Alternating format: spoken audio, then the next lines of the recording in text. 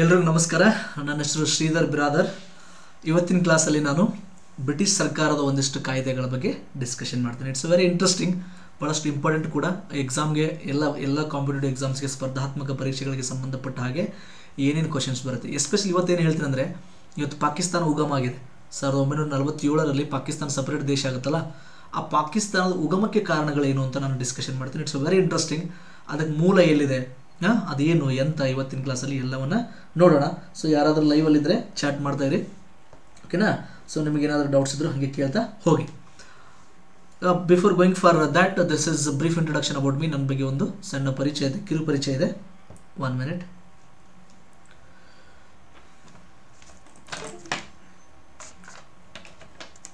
ಓಕೆನಾ so this is brief introduction about me engineering graduate to S teaching experience ನಾನು ಎರಡು ಸಲ K S ಮೇನ್ಸ್ನ ಬರೆದಿದ್ದೀನಿ. I am a live educator at Unacademy platform so will let start with the class welcome to the class ಎಲ್ರಿಗೂ ಸ್ವಾಗತ. ಭಾಳಷ್ಟು ಜನ ಬಂದಿದ್ದೀರಾ? ಕೃಷ್ಣ ಅವರೇ ಸ್ವಾಗತ. ಶಿವರಾಜ್ ಬಸನ್ಗೌಡ ಅವರೇ, ಕೃಷ್ಣ, ಸನ್ನಿ, ಮಾನಪ್ಪ ಅವರೇ, ಮಹಾಲಕ್ಷ್ಮಿ ಅವರೇ, ಕೃಷ್ಣ ಅವರೇ ಎಲ್ಲರೂ ಸ್ವಾಗತ. ಸೊ ನಾನು ಇವತ್ತು ಏನು ಹೇಳ್ತೀನಿ ಅಂದರೆ ಒಂದು ಇಂಟ್ರೆಸ್ಟಿಂಗ್ ಏನು ಏನಂದರೆ ಪಾಕಿಸ್ತಾನದ ಉಗಮಕ್ಕೆ ಕಾರಣಗಳೇನಂತ ಹೇಳ್ತೀನಿ. ಸೊ ಪಾಕಿಸ್ತಾನದ ಉಗಮಕ್ಕೆ ದಿಸ್ ಇಸ್ ವೆರಿ ಇಂಟ್ರೆಸ್ಟಿಂಗ್ ಯಾಕಂದರೆ ಇವತ್ತು ನಾನು ಮಾಡೋ ಪಾಠ, ಪಾ, ನಾನು ಮಾಡೋ ಪಾಠ, ನಾನೇನು ಪಾಠ ಮಾಡ್ತಿರಲ್ಲ ಅದಕ್ಕೂ ಮತ್ತು ಪಾಕಿಸ್ತಾನದ ಉಗಮಕ್ಕೂ ಭಾಳಷ್ಟು ಸಂಬಂಧ ಇದೆ. ಪಾಕಿಸ್ತಾನದ ಪಾಕಿಸ್ತಾನದ ಉಗಮಕ್ಕೆ ಕಾರಣಗಳು.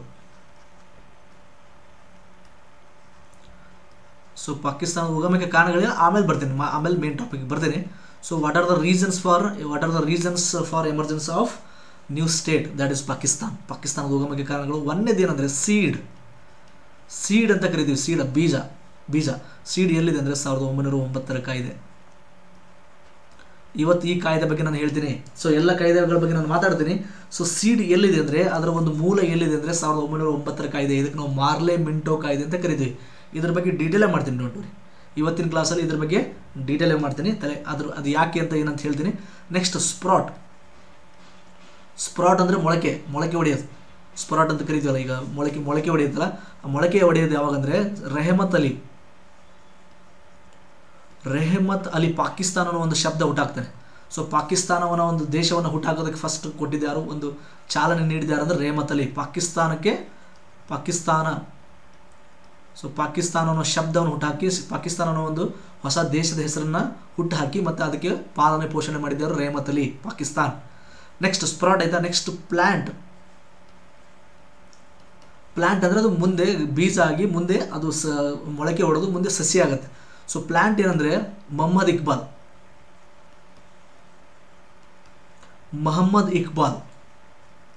ಸೊ ಮೊಹಮ್ಮದ್ ಇಕ್ಬಾಲ್ ಏನು ಮಾಡ್ತಾರೆ? ಆಟೋನಮಿ ಸ್ವಾಯತ್ತತೆ ಕೇಳ್ತಾರೆ. ಮುಸ್ಲಿಂ ಮುಸ್ಲಿಂ ಪ್ರಾ, ಮುಸ್ಲಿಂ ಜನಸಂಖ್ಯೆ ಇರುವ ಪ್ರದೇಶಗಳಿಗೆ ಸ್ವಾಯತ್ತತೆ ಆಟೋನಮಿ ಅಂತ ಕರಿತೀವಿ. ಆಟೋನಮಿ ಕೇಳ್ತಾರೆ. ಏನಂದರೆ ಎಲ್ಲೆಲ್ಲಿ ಮುಸ್ಲಿಂ, ಈ ದೇಶದಲ್ಲಿ ಎಲ್ಲೆಲ್ಲೂ ಮುಸ್ಲಿಮ್ಸ್ ಇದ್ದಾರೋ ಆ ಮುಸ್ಲಿಂ, ಜ, ಮುಸ್ಲಿಂ ಪಾಪ್ಯುಲೇಷನ್ಗೆ ಸ್ವಾಯತ್ತತೆ ಬೇಕೀಗ ಫಾರ್ ಎಕ್ಸಾಂಪಲ್ ಜಮ್ಮು ಕಾಶ್ಮೀರದಲ್ಲಿ ಇತ್ತು ನೋಡಿ, ಮುನ್ನೂರ ಮುನ್ನೂರ ಎಪ್ಪತ್ತರ ವಿಧಿ ಏನದು? ಮುಸ್ಲಿಮರಿಗೆ ಒಂದು ಸ್ವಾಯತ್ತತೆ ಕೊಟ್ಟಿದ್ರು. ಅಟೋನಮಿ ಅಂತ ಕರಿದ್ವಿ. ಈಗ ತೆಗೆದರು ಅದನ್ನು ತೆಗೆದಿದ್ದಾರೆ. ನೆಕ್ಸ್ಟ್ ಟ್ರೀ ಟ್ರೀ ಅಂದರೆ ಇದು ಮರವಾಗುತ್ತೆ ಯಾವಾಗ ಮರವಾಗಿ ಹೆಮ್ಮೆ ಬೀಳುತ್ತೆ? ಟ್ರೀ ಯಾವಾಗ ಗಿಡ ಆಗುತ್ತಂದರೆ, ಮೊಹಮ್ಮದ್ ಅಲಿ ಜಿನ್ನಾ, ಮೊಹಮ್ಮದ್ ಅಲಿ ಜಿನ್ನಾ ಸೊ ಲಾಹೋರ್ ಲಾಹೋರ್ ಮುಸ್ಲಿಂ ಲೀಗ್ ಅಧಿವೇಶನ, ಕಾಂಗ್ರೆಸ್ ಅಧಿವೇಶನ ಅಲ್ಲ. ಕಾಂಗ್ರೆಸ್ ಅಧಿವೇಶನದಲ್ಲ ಲಾಹೋರ್ ಮುಸ್ಲಿಂ ಲೀಗ್ ಅಧಿವೇಶನ ಸಾವಿರದ ಒಂಬೈನೂರ ನಲವತ್ತರಲ್ಲಿ ಪಾಕಿಸ್ತಾನಕ್ಕೆ ಓಪನ್ಲಿ ಬಹಿರಂಗವಾಗಿ ಬೇಡಿಕೆ ಇಡ್ತಾರೆ. ಸೊ ಅಲ್ಲಿವರೆಗೂ ಒಳಗೆ ಇತ್ತು ವಿಷಯ. ಪಾಕಿಸ್ತಾನಕ್ಕೆ ಸಪ್ರೇಟ್ ಅನ್ನೋದು ಒಳಗೆ ಇತ್ತು. ಆದರೆ ಸಾವಿರದ ಒಂಬೈನೂರ ನಲವತ್ತು ಲಾಹೋರ್ ಮುಸ್ಲಿಂ ಲೀಗ್ ಅಧಿವೇಶನ, ಲಾಹೋರ್ ಕಾಂಗ್ರೆಸ್ ಅಧಿವೇಶನ ಬೇರೆ, ಲಾಹೋರ್ ಕಾಂಗ್ರೆಸ್ ಅಧಿವೇಶನ ಅಂದರೆ ಸಾವಿರದ ಒಂಬೈನೂರ ಇಪ್ಪತ್ತೊಂಬತ್ತು. ನಾವು ಅಲ್ಲಿ ಪೂರ್ಣ ಸ್ವರಾಜ್ಯವನ್ನು ಘೋಷಣೆ ಮಾಡ್ತೀವಿ. ಅದು ಜವಾಹರ್ಲಾಲ್ ನೆಹರು ಅಧ್ಯಕ್ಷತೆಯಲ್ಲಿ. ಅದು ಬೇರೆ. ಲಾಹೋರ್ ಕಾಂಗ್ರೆಸ್ ಅಧಿವೇಶನ ಸಾವಿರದ ಒಂಬೈನೂರ ಇಪ್ಪತ್ತೊಂಬತ್ತು. ಇದು ಲಾಹೋರ್ ಮುಸ್ಲಿಂ ಲೀಗ್ ಅಧಿವೇಶನ ಸಾವಿರದ ಒಂಬೈನೂರ ನಲವತ್ತು. ಈ ಅಧಿವೇಶನದ ಅಧ್ಯಕ್ಷತೆಯನ್ನು ವಹಿಸಿಕೊಂಡಿರೋ ಮೊಹಮ್ಮದ್ ಅಲಿ ಜಿನ್ನಾ ಸಪ್ರೇಟ್ ದೇಶದಗೋಸ್ಕರ ಬಹಿರಂಗವಾಗಿ ಘೋಷಣೆಯನ್ನು ಮಾಡ್ತಾರೆ. ನೆಕ್ಸ್ಟ್ ಟ್ರೀ ಆದಮೇಲೆ ಫ್ರೂಟ್ ನಮ್ಮ ಹಣ್ಣು ಸಿಗುತ್ತೆ. ಫ್ರೂಟ್ ಹಣ್ಣು ಸಿಗುತ್ತೆ. ಪಾಕಿಸ್ತಾನ್. ಪಾಕಿಸ್ತಾನ್ ಸಾವಿರದ ಒಂಬೈನೂರ ನಲವತ್ತ ಏಳು. ಸೊ ಪಾಕಿಸ್ತಾನ್ ಸಾವಿರದ ಒಂಬೈನೂರ ನಲವತ್ತೇಳರಲ್ಲಿ ನಮಗೆ ಹಣ್ಣು ಸಿಗುತ್ತೆ. ಆ ಫ್ರೂಟ್ ಹೇಗಿದೆ? ಬಿಟರ್ನೆಸ್ ಭಾಳ ಕಹಿ ಆಗಿದೆ. ಈ ಹಣ್ಣು ಹೇಗಿದೆ? ಕಹಿ ಆಗಿದೆ. ದಿನ ನೋವು ಅನ್ಭವಿಸ್ತೀವಿ. ಈ ಪಾಕಿಸ್ತಾನ ಸಪ್ರೇಟ್ ಆದಾಗಿಂದ ನಮ್ಮ ದೇಶಕ್ಕೆ ಉದ್ದ ನೆಮ್ಮದಿನಿಲ್ಲ ಭಾರತ ನೆಮ್ಮದಿ ಕಳ್ಕೊಂಡಿದೆ.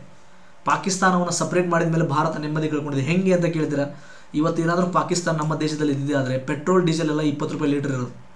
ಇಪ್ಪತ್ತು ರೂಪಾಯಿ, ಮೂವತ್ತು ರೂಪಾಯಿ ಲೀಟ್ರ್ ಇರೋದು. ಯಾಕೆಂದರೆ ಎಲ್ಲ ರಾಷ್ಟ್ರಗಳು ಪೆಟ್ರೋಲು ಡೀಸೆಲು ಹಾಲು ಅನಿಲ ಗ್ಯಾಸ್, ಸಿಲಿಂಡರ್ ಗ್ಯಾಸ್ ಪ್ರತಿಯೊಂದು ಪೈಪ್ಲೈನ್ ಮುಖಾಂತರ ತರ್ತಾರೆ. ನಾವು ಭಾರತೀಯರು ಪೈಪ್ಲೈನ್ ಮುಖಾಂತರ ತರಬೇಕಂದ್ರೆ ಪಾಕಿಸ್ತಾನ ಒಂದೇ ದಾರಿ, ಬೇರೆ ಎಲ್ಲೂ ದಾರಿ ಇಲ್ಲ. ಯಾಕಂದರೆ ಇಂಡಿಯಾ ನಿಮಗೆ ಗೊತ್ತಿದೆ, ಹೆಂಗಿದೆ ಗೊತ್ತಿದೆ ನಿಮಗೆ. ಸ್ಟ್ರಾಟಜಿಕಲ್ ಪೊಸಿಷನ್ ಹೆಂಗಿದೆ ಅಂದರೆ ಭಾರತದ್ದು, ಇಂಡಿಯಾ ಹೆಂಗಿದೆಯಲ್ಲ? ಸೊ ಈ ಕಡೆ ಕೆಳಗಡೆ ಎಲ್ಲ ಸಮುದ್ರ ಇದೆ. ಹೌದಾ? ಇಲ್ಲೆಲ್ಲ ಇಲ್ಲೆಲ್ಲ ಗುಡ್ಡಗಾಡಿದೆ ಈ ಕಡೆ ಚೀನಾ, ಈ ಕಡೆ ಎಲ್ಲ ಹಿಮಾಲಯ ಇದೆ.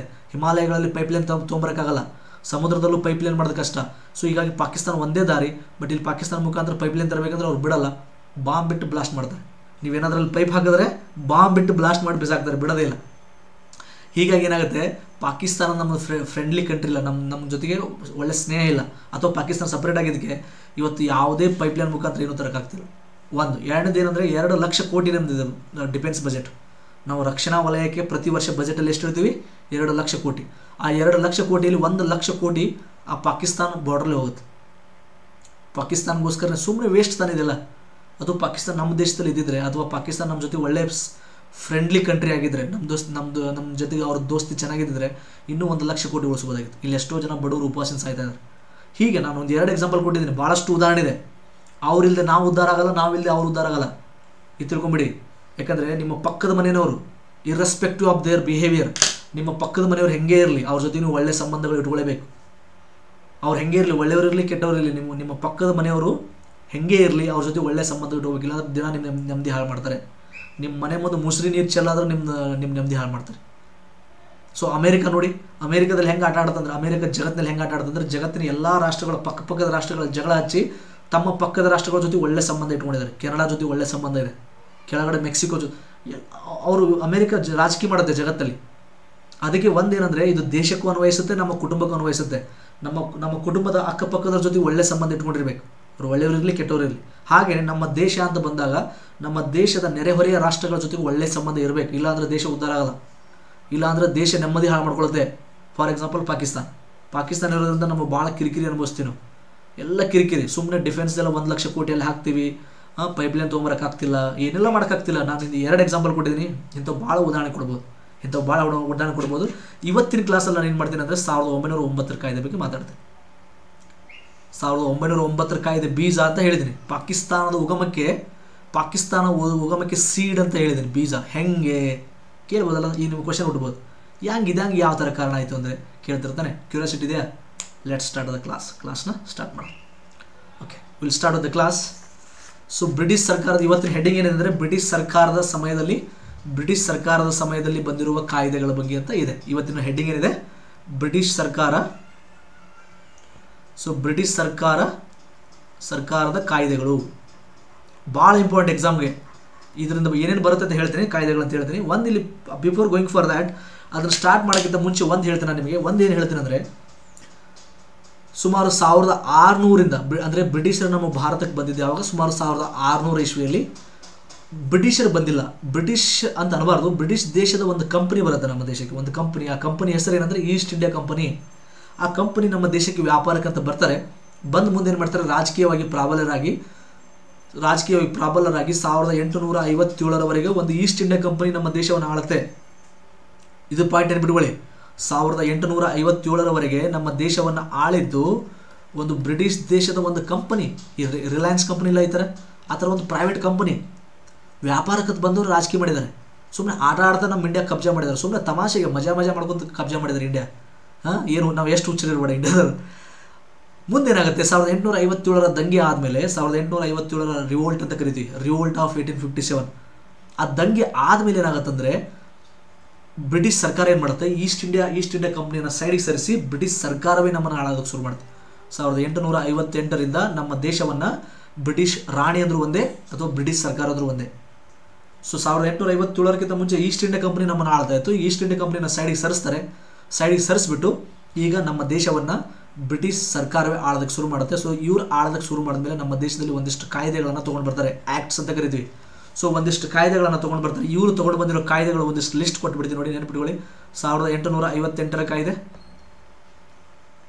ಸಾವಿರದ ಎಂಟುನೂರ ಐವತ್ತೆಂಟರ ಕಾಯ್ದೆ. ಸಾವಿರದ ಎಂಟುನೂರ ಅರವತ್ತ ಒಂದರ ಕಾಯ್ದೆ. ಓಕೆ ಭಾಳ ಇಂಪಾರ್ಟೆಂಟ್ ಇದ್ರ ಲಕ್ಷಣಗಳು ಹೇಳ್ತೀನಿ ನನಗೆ. ಲಕ್ಷಣಗಳು ಮಾತಾಡ್ತೇನೆ.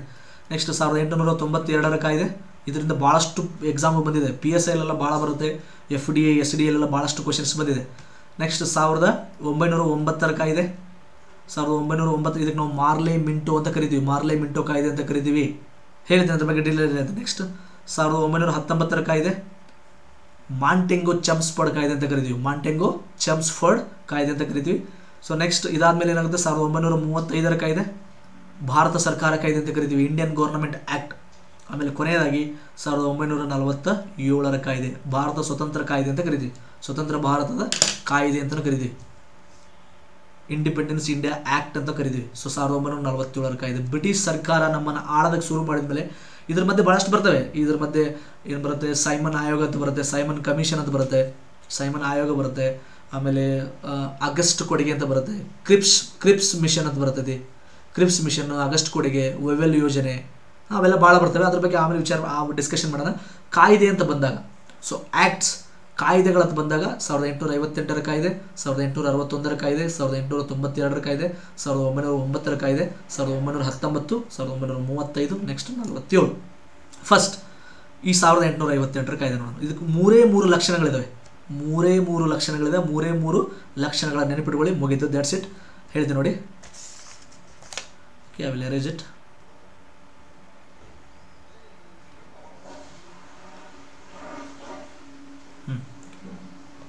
ಸಿಂಪಲಾಗಿ ನಾನು ಭಾಳ ಸಿಂಪ್ಲಿಫೈ ಮಾಡಿಕೊಡ್ತೀನಿ ನಿಮಗೆ ಭಾಳಷ್ಟು ಸಿಂಪಲಾಗಿ ಹೇಳ್ತೀನಿ. ಸಾವಿರದ ಎಂಟುನೂರ ಐವತ್ತೆಂಟರ ಕಾಯಿದೆ. ಸಾವಿರದ ಎಂಟುನೂರ ಐವತ್ತೆಂಟರ ಕಾಯ್ದೆ ಅದು ಬಂದಾಗ ಮೂರು ಲಕ್ಷಣಗಳು ನೆನ್ಪಿಟ್ಕೊಳ್ಳಿ. Just I will I will show in diagram ಡೈಗ್ರಾಮಲ್ಲಿ ತೋರಿಸ್ಬಿಡ್ತೀನಿ. ಒಂದು, ಜವಾಬ್ದಾರಿ ಸರ್ಕಾರ. ಏನಿದೆ ಹಿಂಗಂದ್ರೆ ಹೇಳ್ತೀನಿ.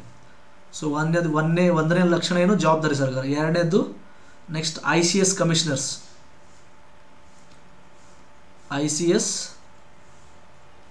commissioner, I C S commissioner. Next end of dual government ದ್ವಿ ಸರ್ಕಾರ ಪತನ. ದ್ವಿ ಸರ್ಕಾರ ಮುಕ್ತಾಯ ಅಂತ ಕರೀರಿ. ಪತನ ಬೇಡ. ಎಂಡ್ ಆಫ್ ಡ್ಯುಯಲ್ ಗೌರ್ನಮೆಂಟ್ ದ್ವಿ ಸರ್ಕಾರ ಮುಕ್ತಾಯ ಇಷ್ಟೇ. ಸಾವಿರದ ಎಂಟುನೂರ ಐವತ್ತೆಂಟರ ಕಾಯಿದೆ ಅಂದರೆ ಮೂರೇ ಪಾಯಿಂಟ್ ನೆನ್ಪಿಟ್ಕೊಳ್ಳಿ ಸಾಕು. ಪರೀಕ್ಷೆಗೆ ಇಷ್ಟೇ ಬರುತ್ತೆ, ಇದು ಬಿಟ್ಟು ಏನು ಬರಲ್ಲ. ಏನಿದು? ಜವಾಬ್ದಾರಿ ಸರ್ಕಾರ ಅಂದ್ರೇನು? ಐ ಸಿ ಎಸ್ ಕಮಿಷನರ್ ಅಂದ್ರೇನು? ದ್ವಿ ಸರ್ಕಾರ ಮುಕ್ತಾಯ ಅಂದ್ರೇನು ಅಂತ ಕರೆದ್ರೆ ಫಸ್ಟ್ ದ್ವಿ ಸರ್ಕಾರ ತೊಗೊಂತೀವಿ ನೋಡಿ. ಇದು ಒಂದನೇ ಪಾಯಿಂಟ್ ದ್ವಿ ಸರ್ಕಾರ ಆಮೇಲೆ ಜವಾಬ್ದಾರಿ ಸರ್ಕಾರ ಎರಡನೇದು ಐ ಸಿ ಎಸ್ ಕಮಿಷನರ್ಸ್ ಮೂರನೇದು ಒಂದನೇ ಪಾಯಿಂಟ್ ನೋಡೋದಾದರೆ ಸೊ ಫಸ್ಟ್ ಪಾಯಿಂಟ್ ನೋಡೋದಾದರೆ ದ್ವಿ ಸರ್ಕಾರ ಅಂತ ಕರೆದ್ರೆ ಸಾವಿರದ ಎಂಟುನೂರ ಐವತ್ತೇಳರವರೆಗೂ, ಸಾವಿರದ ಎಂಟುನೂರ ಐವತ್ತೇಳರವರೆಗೂ ನಮ್ಮ ದೇಶ ಆಳ್ತಿರೋದು ಎರಡು ಸರ್ಕಾರ, ಒಂದು ನಿಯಂತ್ರಣ ಮಂಡಳಿ ಮತ್ತು ಇನ್ನೊಂದು ನಿಯ, ನಿರ್ದೇಶಕರ ಮಂಡಳಿ ಅಂತೇಳಿ. ಒಂದು ನಿಯಂತ್ರಣ ಮಂಡಳಿ ಒಂದನೇದು ನಿಯಂತ್ರಣ ಮಂಡಳಿ, ಇನ್ನೊಂದು ನಿರ್ದೇಶಕರ ಮಂಡಳಿ ಅಂತ ಬರುತ್ತೆ. ನಿರ್ದೇಶಕರ ಮಂಡಳಿ. ಸೊ ನಿಯಂತ್ರಣ ಮಂಡಳಿ ಮತ್ತು ನಿರ್ದೇಶಕರ ಮಂಡಳಿ ಅಂತ ನಮ್ಮ ದೇಶ ಆಳ್ತಾ ಇರುತ್ತೆ. ಈಗ ಈಸ್ಟ್ ಇಂಡಿಯಾ ಕಂಪನಿ ಪರವಾಗಿ ಇವೆರಡು ಆಳ್ತಾ ಇರ್ತವೆ. ಈಸ್ಟ್ ಇಂಡಿಯಾ ಕಂಪನಿ ಪರವಾಗಿ ಒಂದಿರುತ್ತೆ ಬ್ರಿಟಿಷ್ ಅವರು ಕಂಟ್ರೋಲ್ ಮಾಡೋದಕ್ಕೆ ಒಂದಿಟ್ಟಿರ್ತಾರೆ.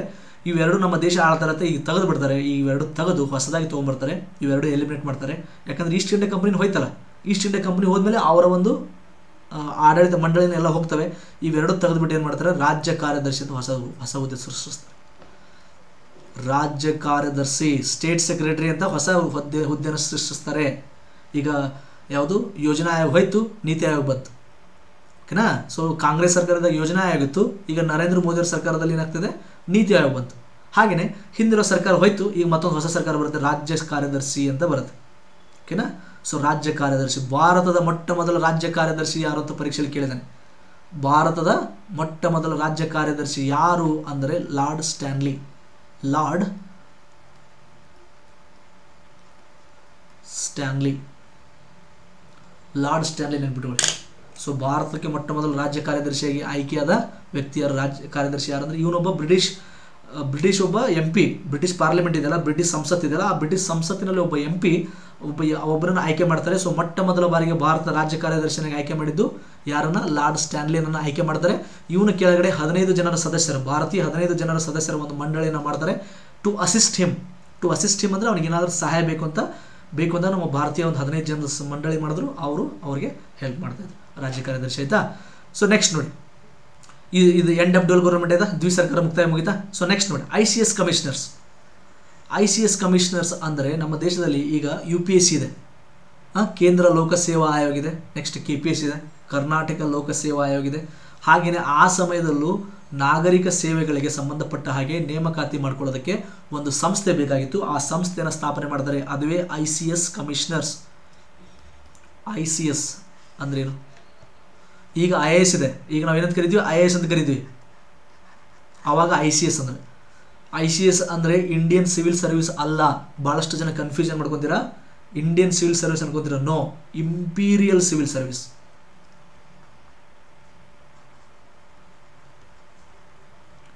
Imperial civil service confuse ಮಾಡ್ಕೋಬೇಡಿ. ಇಂಡಿಯನ್ ಸಿವಿಲ್ ಸರ್ವಿಸ್ ಅಲ್ಲ, ಈಗೇನಿದೆ ಸರ್ದಾರ್, ನಮಗೆ ಸ್ವತಂತ್ರ ಸಿಕ್ಕ ಮೇಲೆ ಸರ್ದಾರ್ ವಲ್ಲಭಾಯ್ ಪಟೇಲ್ ಏನು ಮಾಡಿದ್ರು? ಐ ಎ ಎಸ್ ಅಂತ ಮಾಡಿದ್ರು. ಇಂಡಿಯನ್ ಅಡ್ಮಿನಿಸ್ಟ್ರೇಟಿವ್ ಸರ್ವಿಸ್ ಅಂತ ಮಾಡಿದ್ರು. ಆದರೆ ಬ್ರಿಟಿಷರ ಕಾಲದಲ್ಲಿ ಇದಕ್ಕೆ ನಾವು ಐ ಸಿ ಎಸ್ ಅಂತ ಕರಿತಿದ್ವಿ. ಐ ಸಿ ಎಸ್ ಗೊತ್ತಿರಲಿಲ್ಲ. ಸುಭಾಷ್ ಚಂದ್ರ ಬೋಸ್ ಅವರು ಫಸ್ಟ್ ಅಟೆಂಪ್ಟಿಗೆ ಪಾಸ್ ಮಾಡಿದ್ದಾರೆ. ಸೇಮ್ ಇದೆ. ಈಗ ಐ ಎಸ್ ಅಂತ ಕರಿತೀವಿ ಅವಾಗ ಐ ಸಿ ಎಸ್ ಅಂತ ಕರಿತಿದ್ವಿ. ಒಂದೇ ಅಟೆಂಪ್ಟಿಗೆ ಒಂದೇ ಇದಕ್ಕೆ, ಒಂದೇ ವರ್ಷದಲ್ಲಿ ಐ ಸಿ ಎಸ್ ಪಾಸ್ ಮಾಡಿದ್ದಾರೆ ಸುಭಾಷ್ ಚಂದ್ರ ಬೋಸ್. ಏನ? ಸೊ ಇದನ್ನು ತೊಗೊಂಡು ಬರ್ತಾರೆ. ಐ ಸಿ ಎಸ್ ತೊಗೊಂಡು ಬರ್ತಾರೆ. ಐ ಸಿ ಎಸ್ ಕಮಿಷನರ್ ಅಂದರೆ ಲೈಕ್ ಕೇಂದ್ರ ಲೋಕ ಸೇವಾ ಆಗಿದ್ದಂಗೆ ಕಮಿಷನರ್ ಅಂದರೆ ಒಂದು ಒಂದು ಒಂದು ಬಿಲ್ಡಿಂಗ್ ಕಟ್ಸಿಬಿಟ್ಟು, ಒಂದು ಬಿಲ್ಡಿಂಗ್ ಕಟ್ಟಿಸಿ ಅದಕ್ಕೊಂದು ಐ ಸಿ ಎಸ್ ಕಮಿಷನರ್ ಅಂತ ಬೋರ್ಡ್ ಹಾಕಿ, ಅಲ್ಲಿ ಒಂದಿಷ್ಟು ಒಂದಿಷ್ಟು ಸದಸ್ಯರನ್ನು ನೇಮಕ ಮಾಡಿ ಸೊ ನೇಮಕಾತಿ ಮಾಡ್ಕೊಳ್ಳೋದು. ಭಾರತೀಯರಿಗೂ ಭಾರತೀಯರಿಗೂ ನಾಗರಿಕ ಸೇವೆಗಳಿಗೆ ಪಾಲ್ಗೊಳ್ಳುವಂತೆ ಮಾಡ್ತಾರೆ. ಇದು ಐ ಸಿ ಎಸ್ ಕಮಿಷನರ್ ಇಲ್ಲೊಂದು ಕ್ವಶನ್ ಬರುತ್ತೆ. ಫಸ್ಟ್ ಕ್ವಶನ್ ಏನು ಬರುತ್ತೆ ಅಂದರೆ ಭಾರತದ ಮೊಟ್ಟ ಮೊದಲ ಐ ಸಿ ಎಸ್ ಕಮಿಷನರ್ ಯಾರು ಅಂತ ಬರುತ್ತೆ. ಯಾರಾದರೂ ಹೇಳ್ತೀರಾ? ಸೊ ಭಾಳಷ್ಟು ಜನ ಜಾಯ್ನ್ ಆಗಿದ್ದಾರೆ. ಹೈ ಹಲೋ ಎಲ್ರಿಗೂ ನಮಸ್ಕಾರ. ಸೊ ಭಾರತದ ಮೊಟ್ಟ ಮೊದಲ ಐ ಸಿ ಎಸ್ ಅಧಿಕಾರಿ ಯಾರು? ಯಾರಾದ್ರೂ ಹೇಳ್ತೀರಾ?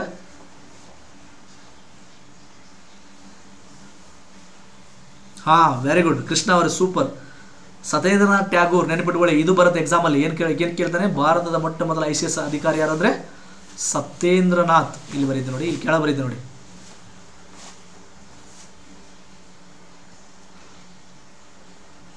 ಸತ್ಯೇಂದ್ರನಾಥ್ ಟ್ಯಾಗೂರ್.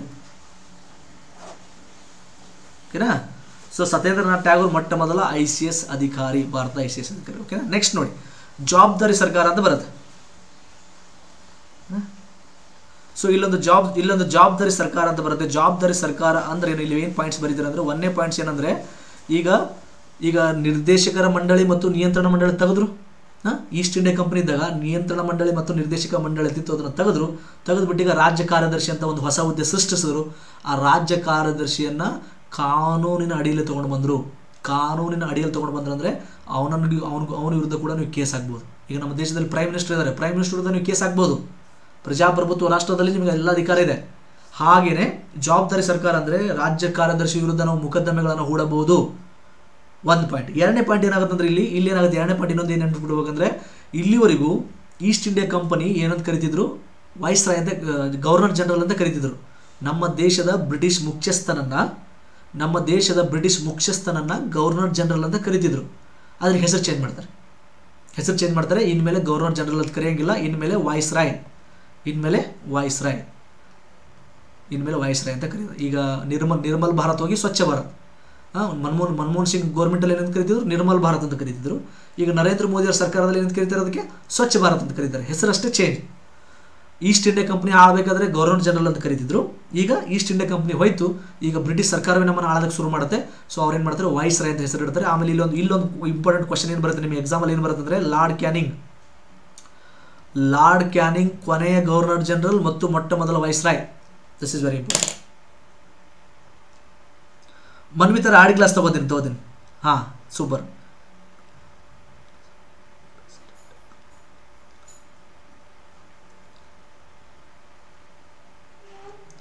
ಮನ್ವಿತರ ಆಡಿ ಕ್ಲಾಸ್ ತಗೋತೀನಿ ಓಕೆ ಡೋಂಟ್ ವರಿ ಇನ್ನು ನಾಳೆ ಏಳನೇ ತಾರೀಕಿಂದ ಇವತ್ತು ಇವತ್ತು ಬೆಳಗ್ಗೆ ಟೈಮ್ ಟೇಬಲ್ ಕೊಟ್ಟಿದ್ದೀನಿ, ಜನವರಿ ಏಳರಿಂದ ಸ್ಟಾರ್ಟ್ ಇಲ್ಲಿ ಏನು ನೆನ್ಪಿಟ್ಕೋಬೇಕಂದ್ರೆ Lord Canning Lord Canning but ಸಂಬಂಧಪಟ್ಟಾಗ ಮೂರು ಕ್ವಶನ್ ಕೇಳ್ತಾರೆ. ಮೂರು ಕ್ವಶನ್ ಏನಂದರೆ, ನಮಗೆ ಸಾವಿರದ ಎಂಟುನೂರ ಐವತ್ತೇಳರ ದಂಗೆಯ ಸಮಯದಲ್ಲಿ ಯಾರು ಗವರ್ನರ್ ಜನರಲ್ ಆಗಿದ್ದರು ಲಾರ್ಡ್ ಕ್ಯಾನಿಂಗ್ ಕೊನೆಯ ಗವರ್ನರ್ ಜನರಲ್ ಯಾರು? ಲಾರ್ಡ್ ಕ್ಯಾನಿಂಗ್ ಮೊಟ್ಟ ಮೊದಲ ವಯಸ್ಸರ ಯಾರು? Lord Canning so Lord Canning ಸಂಬಂಧಪಟ್ಟ ಹಾಗೆ ಮೂರು ಕ್ವಶನ್ಸ್ ಬರುತ್ತೆ. ಪ್ಲೀಸ್ ರಿಮೆಂಬರ್ ದಟ್ ಅದನ್ನು ನೆನ್ಪಿಟ್ಬೋದು ಓಕೆನಾ ಇದು ಸಾವಿರದ ಎಂಟುನೂರ ಐವತ್ತೇಳರ ದಂಗೆ ಸಾವಿರದ ಸಾರಿ ಸಾವಿರದ ಎಂಟುನೂರ ಐವತ್ತೆಂಟರ ಕಾಯ್ದೆ ಸಂಬಂಧಪಟ್ಟಂಗೆ ನೋಡಿದೆ.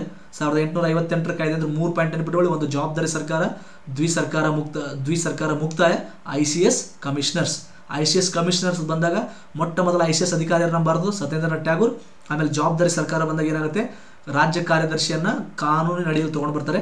ಅವನ ವಿರುದ್ಧ ನಾವು ಮೊಕದ್ದಮೆ ಹೇರಬಹುದಾಗಿತ್ತು ಮತ್ತೆ ಅಲ್ಲೇನಾಗುತ್ತೆ? ಗವರ್ನರ್ ಜನರಲ್ನ ವಾಯ್ಸರಾಯ್ ಅಂತ ಕರೀತಾರೆ. ದ್ವಿ ಸರ್ಕಾರ ಮುಕ್ತಾಯ ಅಂದ್ರೆ ನಿಯಂತ್ರಣ ಮಂಡಳಿ ಮತ್ತು ನಿರ್ದೇಶಕರ ಮಂಡಳಿ ತೆಗಿತಾರೆ. ರಾಜ್ಯ ಕಾರ್ಯದರ್ಶಿ ಅಂತ ಒಂದು ಹೊಸ ಹುದ್ದೆಯನ್ನು ಸೃಷ್ಟಿ ಮಾಡ್ತಾರೆ. ನಮ್ಮ ಭಾರತದ ಮೊಟ್ಟ ಮೊದಲ ರಾಜ್ಯ ಕಾರ್ಯದರ್ಶಿ ಯಾರು ಅಂದ್ರೆ ಲಾರ್ಡ್ ಸ್ಟ್ಯಾನ್ಲಿ. ದಟ್ಸ್ ಇಟ್ ಇದ್ರ ಇದು ಬಿಟ್ಟರೆ ಏನೂ ಕ್ವಶನ್ಸ್ ಬರಲಿಲ್ಲ. ಇದು ಬಿಟ್ಟರೆ ಬೇರೆ ಏನಾದರೂ ಬಂದರೆ ಕೇಳಿ. ಇದರಂದೇ ಬರಬೇಕು. ನಾನೇನು ಹೇಳಿದ್ರಲ್ಲ ಸಾವಿರದ ಎಂಟುನೂರ ಐವತ್ತೆಂಟರ ಕಾಯ್ದೆ ಕ್ಲಿಯರ್ ಕಟ್ ಮುಗೀತು. ಇಷ್ಟು ನೀವು ನೆನ್ಪಿಟ್ಕೊಂಡ್ರೆ ಸಾವಿರದ ಎಂಟುನೂರ ಐವತ್ತೆಂಟರ ಕಾಯ್ದೆ ಮುಗೀತು ಫಿನಿಶ್ಡ್ ಓಕೆನಾ ಸೊ ನೆಕ್ಸ್ಟ್ ನಾನು ಏನು ಮಾಡ್ತೀನಿ? ಸಾವಿರದ ಎಂಟುನೂರ ಅರವತ್ತೊಂದು ಮತ್ತು ತೊಂಬತ್ತೆರಡು ಬರ್ತೀನಿ. ಬಟ್ ಅದಕ್ಕಿಂತ ಮುಂಚೆ ನಾನು ಏನು ಮಾಡ್ತೀನಿ ಅಂದರೆ ಸಾವಿರದ ಒಂಬೈನೂರ ಒಂಬತ್ತರ ಕಾಯ್ದೆ ಬರ್ತೀನಿ. ಯಾಕಂದರೆ ಅದು ಇಂಪಾರ್ಟೆಂಟ್ ಅದನ್ನು ಮುಗಿಸ್ತೀನಿ ಒಂದು ನಾನು. ಭಾಳ ಇಂಪಾರ್ಟೆಂಟ್ ಇಲ್ಲಿವರೆಗೆ ಕ್ವಶನ್ಸ್ ಅದ್ರ ಮೇಲೆ ಭಾಳ ಬಂದಿದೆ. ಯಾವುದ್ರ ಮೇಲೆ ಭಾಳ ಬಂದಿದೆ? ಸಾವಿರದ ಒಂಬೈನೂರ ಒಂಬತ್ತರ ಕಾಯ್ದೆ ಮೇಲೆ ಭಾಳಷ್ಟು ಕ್ವಶನ್ಸ್ ಬಂದಿದೆ. ಸೊ ಹೀಗಾಗಿ I am going to finish that ಸಾವಿರದ ಎಂಟುನೂರ ಐವತ್ತೆಂಟರ ಕಾಯ್ದೆ ಮುಗಿತಾ? ಕ್ಲಿಯರ್ ಆಯ್ತಾ? ನೆಕ್ಸ್ಟ್ ಸಾವಿರದ ಎಂಟುನೂರ ಅರವತ್ತೊಂದರ ಕಾಯ್ದೆ ಬರುತ್ತೆ, ಸಾವಿರದ ಎಂಟುನೂರ ತೊಂಬತ್ತೆರಡರ ಕಾಯ್ದೆ ಬರುತ್ತೆ. ಇವೆರಡು ಸ್ವಲ್ಪ ಇದೆ. ಭಾಳ ಇಂಪಾರ್ಟೆಂಟ್ ಅಲ್ಲ, ಅದ್ಮೇಲೆ ಕ್ವಶನ್ಸ್ ಜಾಸ್ತಿ ಬಂದಿಲ್ಲ. ಸ್ವಲ್ಪ ಇದೆ ನಾನು ಹೇಳ್ತೇನೆ ಡೋಂಟ್ ವರಿ ಬಟ್ ಈಗ ಸಾವಿರದ ಒಂಬೈನೂರ ಒಂಬತ್ತರ ಕಾಯ್ದೆ ಬಗ್ಗೆ ನಾನು ಮಾತಾಡ್ತೀನಿ. ಸಾವಿರದ ಒಂಬೈನೂರ ಒಂಬತ್ತರ ಕಾಯ್ದೆ ನಾವು ಎಂತ ಕರಿತೀವಿ? Morley Minto. Okay Morley Minto ಕಾಯ್ದೆ ಅಂತ ಕರಿತೀವಿ. ಓಕೆ ಮನೋಜರ್ ಓಕೆ ಮಾಡೋಣ ವಿಲ್ ವಿಲ್ ಡೂ ಇಟ್ ನಾನು ಎಫ್ ಇ ನೋಡಲ್ಲ, ತೆಗೆದು ನೋಡಲ್ಲ ಅದನ್ನ ಇರಲಿ. ಸೊ ನೋಡಿರ್ತೀನಿ ಬಟ್ ನಾನು ಅದು ಮೆಸೆಂಜರ್ ಹಾಕೊಂಡಿಲ್ಲ. ಮೆಸೆಂಜರ್ ಹಾಕೊಂಡು ನಾನು ನೋಡ್ತೀನಿ ಓಕೆನಾ ಸೊ ಮಾರ್ಲೆ ಮಿಂಟು ಅಂತ ಕರಿತೀವಿ. ಮಾರ್ಲೆ ಮಿಂಟೋ ಮಾರ್ಲೆನವನು ರಾಜ್ಯ ಕಾರ್ಯದರ್ಶಿ ಮಿಂಟೋನವನು ವೈಸ್ರಾಯ್. ಮಾರ್ಲೆನವನು ಓಕೆ ಮಾರ್ಲೆನವನು ರಾಜ್ಯ ಕಾರ್ಯದರ್ಶಿ ಮಿಂಟೋನವನು ಏನು? ವೈಸ್ರಾಯ್, ನೆನ್ಪಿಟ್ಕೊಳ್ಳಿ, ಇದು ನೆನ್ಪಿಟ್ಕೊಳ್ಳಿ. ಇವನು ರಾಜ್ಯ ಕಾರ್ಯದರ್ಶಿ. ರಾಜ್ಯ ಕಾರ್ಯದರ್ಶಿ, ಇವನು ವೈಸ್ರಾಯ್. ಸೊ ಅವರಿಬ್ಬರು ಹೆಸರಿಟ್ಟಿದ್ದಾರೆ. ಸೊ ವೈಸ್ರಾಯ್ಗಿಂತ ಮೇಲಿರ್ತಾನೆ. ರಾಜ್ಯ ಕಾರ್ಯದರ್ಶಿ ಅಂದ್ರೆ ಫುಲ್ ಹವಾ ಒಂದು. ಹವಾ. ಎಸ್ ಪಿ ಇದ್ದಂಗೆ S P Y S P ಇದ್ದಂಗೆ. ಸೊ ಮಾರ್ಲೆ ಎಸ್ ಪಿ ಇದ್ದಂಗೆ, ಇವನಿಗೆ ಡಿ ವೈ ಎಸ್ ಪಿ ಇದ್ದಂಗೆ. ಅಂದರೆ ರಾಜ್ಯ ಕಾರ್ಯದರ್ಶಿ ವಯಸ್ಸರಾಗಿಂತ ಮೇಲಿನ ಹುದ್ದೆ. ರಾಜ್ಯ ಕಾರ್ಯದರ್ಶಿ ಹೇಳಿದ್ದನ್ನು ವೈಸ್ರಾಯ್ ಕೇಳಬೇಕಾಗಿತ್ತು. ಮಾರ್ಲೆ ಮಿಂಟೋ ಕಾಯ್ದೆ ಅಂತ ಕರೀತೀವಿ, ಸಾವಿರದ ಒಂಬೈನೂರ ಹತ್ತು, ಒಂಬತ್ತರ ಕಾಯ್ದೆ. ಇದ್ರದ್ದು ಒಂದೇ ಒಂದು ಲಕ್ಷಣ, ಮುಖ್ಯವಾದ ಲಕ್ಷಣ, ಮತೀಯ ಚುನಾವಣೆ. ಪಾಕಿಸ್ತಾನದ ಉಗಮಕ್ಕೆ ಇದೇ ಕಾರಣ. ಮತೀಯ ಚುನಾವಣೆ ಸಪ್ರೇಟ್ ಎಲೆಕ್ಟ್ರೇಟ್ ಅಂತ ಕರಿತೀವಿ. ಮತೀಯ ಚುನಾವಣೆ ಸಪ್ರೇಟ್ ಎಲೆಕ್ಟ್ರೇಟ್ ಫಾರ್ ಮುಸ್ಲಿಮ್ಸ್ ಮತೀಯ ಚುನಾವಣೆ ಯಾರಿಗೆ? ಮುಸ್ಲಿಮರಿಗೆ. ಇದನ್ನು ಇದನ್ನು ಸ್ಟಾರ್ಟಿಂಗ್ ಕ್ಲಾಸ್ ಮಾಡಬೇಕಂತ ಹೇಳಿದ್ರೆ ಈಗ ಬರ್ತೀನಿ ನೋಡಿ. ಸಪ್ರೇಟ್ ಎಲೆಕ್ಟೋರೇಟ್ ಸಪ್ರೇಟ್ ಎಲೆಕ್ಟೋರೇಟ್ ಅಂತ ಕರಿತೀವಿ, ಮತೀಯ ಚುನಾವಣೆ ಅಂತ ಕರಿತೀವಿ, ಅಥವಾ ಪ್ರತ್ಯೇಕ ಮತದಾನ ವರ್ಗ ಅಂತ ಕರಿತೀವಿ. ಏನಿದೆ ಹಂಗಂದ್ರೆ, ಹಿಂಗಿದ್ರೆ ಹಿಂಗೆ, ಇದು ಇದು ಇದು ಮೀಸಲಾತಿ ಉಲ್ಟಾ ಇದೆ. ಈಗ ನಮ್ಮ ದೇಶದಲ್ಲಿ ಮೀಸಲಾತಿ ಇದೆ, ನಮ್ಮ ದೇಶದಲ್ಲಿ ಮೀಸಲಾತಿ ಇದೆ. ಇದು ಮತೀಯ ಚುನಾವಣೆ ಅಂದ್ರೆ ಏನು? ಮುಸ್ಲಿಮರಿಗೆ ಕೊಡ್ತಾನೆ ಇವನು. ಯಾರು? ಮಾರ್ಲಿಮೆಂಟ್ ಕೊಡ್ತಾರೆ. ಏನಿದು ಅಂದರೆ ಸಪೋಸ್ ಈಗ ಒಂದು ಯಾವುದೋ ಒಂದು ಒಂದು ಡಿಸ್ಟಿಕ್ ತೊಗೊಳ್ಳೋಣ ಸಪೋಸ್ ಈಗ ತುಮಕೂರು ಡಿಸ್ಟಿಕ್ ಇದೆ. ಓಕೆ ಇದು ಒಂದು ವೇಳೆ ಇದ್ದಿದ್ರೆ ನಮ್ಮ ದೇಶದಲ್ಲಿ ಮತೀಯ ಚುನಾವಣೆ ಇದ್ದಿದ್ರೆ ಹೆಂಗಿರ್ತಿತ್ತು ಪರಿಸ್ಥಿತಿ ಅಂದರೆ ತುಮಕೂರು ಕ್ಷೇತ್ರದೊಳಗೆ, ತುಮಕೂರಲ್ಲಿ ಮುಸ್ಲಿಮರನ್ನು ಹೊರತುಪಡಿಸಿ ಅವ್ರಿಗೊಬ್ಬರು ಎಂ ಪಿ ಅಂತೆ ಮುಸ್ಲಿಮರಿಗೊಬ್ಬ ಸಪ್ರೇಟ್ ಎಂ ಪಿ ಇದೇನು ಹೇಳುತ್ತೆ? ಮತೀಯ ಚುನಾವಣೆ ಏನು ಹೇಳುತ್ತೆ? ಮುಸ್ಲಿಮರಿಗೆ ಒಬ್ಬ ಸಪ್ರೇಟ್ ಎಂ ಪಿ ಮುಸ್ಲಿಮರನ್ನು ಹೊರತುಪಡಿಸಿ ಬೇರೆಯವರಿಗೆಲ್ಲ ಒಬ್ಬ ಎಂ ಪಿ ಆಮೇಲೆ ಇನ್ನೊಂದು ಸೆಕೆಂಡ್ ಪಾಯಿಂಟ್ ಏನಂದರೆ ಇಲ್ಲಿ ಇಲ್ಲಿ ಬರೀ ಮುಸ್ಲಿಮರಷ್ಟೇ ಓಟ್ ಹಾಕೋದು. ಒಂದು ಏಳೆಂಟು ಜನ ಮುಸ್ಲಿಮರು ನಿಂತ್ಕೊಂತಾರೆ, ಅವ್ರು ಬರೀ ಮುಸ್ಲಿಮರಷ್ಟೇ ಓಟ್ ಹಾಕೋದು, ಅದರಲ್ಲೊಬ್ಬ ಆಯ್ಕೆ ಆಗ್ತಾನೆ, ಅದರಲ್ಲೊಬ್ಬ ಆಯ್ಕೆ ಆಗ್ತಾನೆ. ಹಾಗೆ ಈ ಕಡೆ ಮುಸ್ಲಿಮರನ್ನು ಹೊರತುಪಡಿಸಿ ಉಳಿದವ್ರಿಗೆ ನಿಂತ್ಕೋಬೋದು. ಮತ್ತು ಇಲ್ಲಿ ಇಲ್ಲಿ ಮುಸ್ಲಿಮರು ಹೊರತುಪಡಿಸಿ ಇವರು ಓಟ್ ಹಾಕೋದು. ಇದೇನಾಗ್ಬಿಡುತ್ತೆ ಒಂದೇ ಜಿಲ್ಲೆಯಲ್ಲಿ ಎರಡು ರಾಷ್ಟ್ರಗಳ ನಿರ್ಮಾಣ ಆಗುತ್ತೆ. ಒಂದೇ ಜಿಲ್ಲೆಯಲ್ಲಿ ಎರಡು ರಾಷ್ಟ್ರಗಳ ನಿರ್ಮಾಣ ಹೊಡೆದಾಟ ಬಡದಾಟ ಶುರು ಆಗ್ಬಿಡುತ್ತೆ. ಫಾರ್ ಎಕ್ಸಾಂಪಲ್ ನಿಮ್ಗೆ ಉದಾಹರಣೆ ಹೇಳ್ತೀನಿ. ಈಗ ಸಪೋಸ್ ಈಗ ನಿಮ್ಮ ಊರಲ್ಲಿ ಏನೋ ಮೇಲ್ ಜಾತಿಯವರಿಗೂ ಕೆಳ ಜಾತಿಯವರಿಗೂ ಜಗಳ ಆಗಿದೆ ಅನ್ಕೊಳ್ಳೋಣ. ಈಗ ಸಪೋಸ್ ನಿಮ್ಮ ಊರಲ್ಲಿ ಆಯಿತು.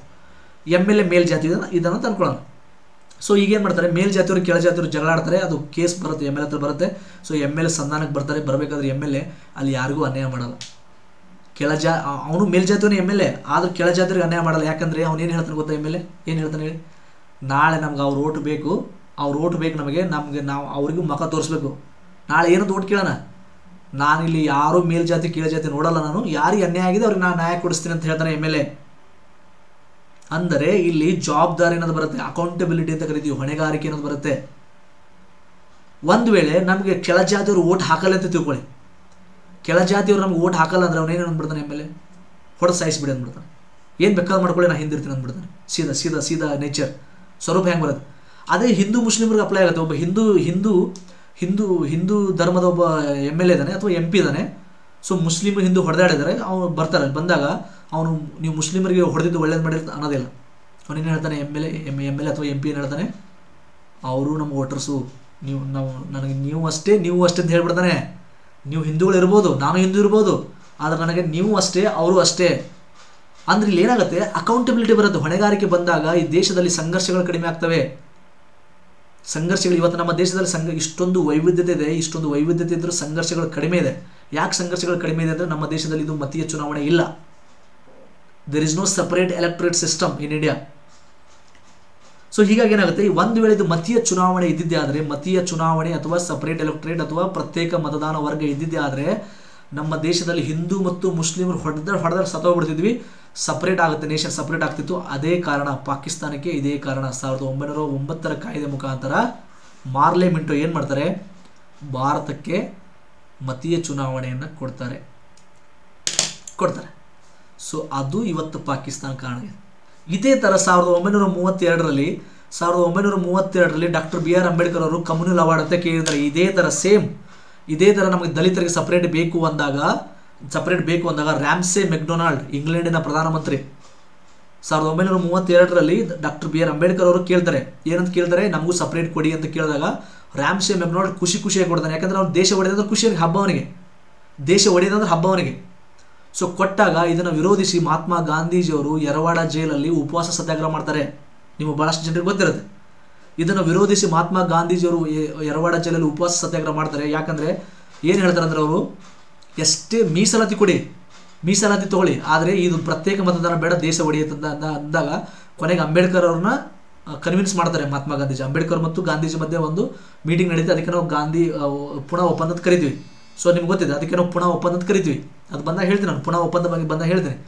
ಸೊ ಇಲ್ಲಿ ಗಾಂಧೀಜಿ ಏನು ಮಾಡ್ತಾರೆ, ಅಂಬೇಡ್ಕರ್ ಅವ್ರನ್ನ ಮನವೊಲಿಸ್ತಾರೆ ಏನಂತ ಮನವೊಲಿಸ್ತಾರೆ ಎಷ್ಟು ಬೇಕಷ್ಟು ರಿಸರ್ವೇಷನ್ ತಗೋ, ಎಷ್ಟು ಬೇಕಷ್ಟು ಮೀಸಲಾತಿ ತಗೋ. ಬಟ್ ಆದರೆ ಇದು ಪ್ರತ್ಯೇಕ ಮತದಾನ ಕೊಟ್ಟ ಒಪ್ಕೋಬೇಡ, ಕಮ್ಯುನಲ್ ಅವಾರ್ಡ್ಗೆ ಒಪ್ಕೋಬೇಡ ಅಂದಾಗ ಸೊ ಅಂಬೇಡ್ಕರ್ ಅವರು, ಅಂಬೇಡ್ಕರ್ ಅವ್ರಿಗೂ ನಾವು ಹ್ಯಾಟ್ಸಪ್ ಹೇಳ್ಬೇಕು. ಯಾಕಂದರೆ ಮಹಾತ್ಮ ಗಾಂಧೀಜಿ ಮಾತನ್ನ ಕೇಳಿ ಅವ್ರು ಅದನ್ನು ವಾಪಸ್ ಕೊಟ್ಬಿಡ್ತಾರೆ. ತೋಳಲ್ಲ ಒಂದು ವೇಳೆ ಆವತ್ತೇನಾದರೂ ಮಹಾತ್ಮ ಗಾಂಧೀಜಿ ಉಪವಾಸ ಸತ್ಯಾಗ್ರಹ ಮಾಡಿದ್ದಿಲ್ಲ, ಅಂಬೇಡ್ಕರ್ ಅವರು ಅದನ್ನು ಸ್ವೀಕರಿಸಿದ್ರೆ ಇವತ್ತು ದಲಿತರದೊಂದು ಸಪ್ರೇಟ್ ರಾಷ್ಟ್ರ ಇರ್ತಿತ್ತು. ನನಗೆ ಹೇಳ್ತಿಲ್ಲವ ಸೀಡು ಬೀಜ ಪ್ಲಾಂಟು ಟ್ರೀ ಹಂಗೆ ಸಪ್ರೇಟ್ ದಲಿತರಿಗೊಂದು ಹಾಕಬೇಕಾಗಿತ್ತು. ಸಮಸ್ಯೆಗಳಿದೆ ಐ ಅಗ್ರಿ ದಟ್ ಈ ದೇಶದಲ್ಲಿ ಎರಡು ಸಾವಿರ ವರ್ಷಗಳಿಂದ ದಲಿತರ ಮೇಲೆ ಶೋಷಣೆ ಆಗಿದೆ. ಅದು ಒಪ್ಕೊಳ್ಳೇಬೇಕು ಶೋಷಣೆ ಆಗಿದೆ ನಮ್ಮ ದಲಿತ ಆಗಿದೆ ಅಂತೇಳಿ ದೇಶದ್ರೋಹಿ ಕೆಲಸ ಮಾಡೋದಲ್ಲ. ಮಮ್ಮದಲ್ಲಿ ಜಿನ್ನ ದೇಶ ಹೊಡಿಬೇಕಾದ್ರೆ ಅಂಬೇಡ್ಕರ್ ಜೊತೆ ಮೀಟಿಂಗ್ ಮಾಡ್ತಾರೆ. ಅಂಬೇಡ್ಕರ್ ಜೊತೆ ಮೀಟಿಂಗ್ ಮಾಡಿ ಏನು ಕೇಳ್ತಾರೆ? ಈ ದೇಶದಲ್ಲಿ ನಿನಗೂ ಅನ್ಯಾಯ ಆಗಿದೆ, ನನಗೂ ಅನ್ಯಾಯ ಆಗಿದೆ ಇಬ್ಬರು ಸೇರ್ಕೊಂಡು ದೇಶ ಮಾಡೋಣ ಅಂದಾಗ ಅಂಬೇಡ್ಕರ್ ಏನು ಹೇಳ್ತಾರೆ ಅಂದರೆ, ನನಗೆ ಅನ್ಯಾಯ ಆಗಿದೆ ನಿಜ, ನನ್ನ ಮೇಲೆ ಶೋಷಣೆ ಆಗಿದೆ, ಆದರೆ ನಿಂತ ದೇಶದ್ರೋಹಿ ಕೆಲಸ ಮಾಡಲ್ಲ ಅಂತಾರೆ.